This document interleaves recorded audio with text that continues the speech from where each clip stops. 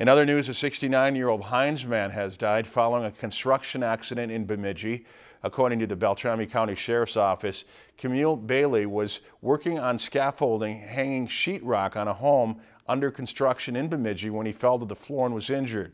Bailey was transported by Bemidji ambulance to Sanford Hospital for treatment. The accident happened on Wednesday, September 27th. His obituary says he died at Sanford Medical Center on September 29th. OSHA is investigating. If you've enjoyed this segment of Lakeland News, please consider making a tax-deductible contribution to Lakeland Public Television.